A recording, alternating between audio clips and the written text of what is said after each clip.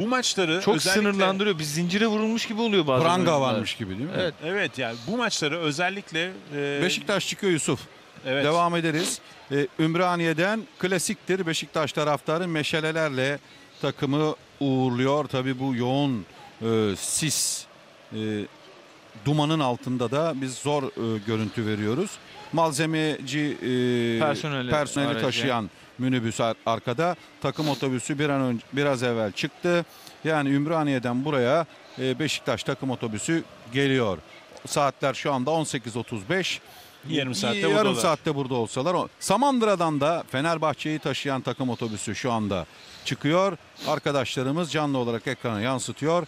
Ve Samandıra'dan da statta yarım saat sürse aşağı 19 gibi, Aynen. 19-15 gibi e, e, oyuncular stada ulaşmış olacaklar. Hemen ısınma hareketleri zaten 11'de belli olur. Bir saat kala. aşağı yukarı. Aşağı yukarı 11'ler belli olur. Bence şimdi artık yavaş yavaş tesisten çıktıkları için o 11'lerde yavaştan sızmaya başlar.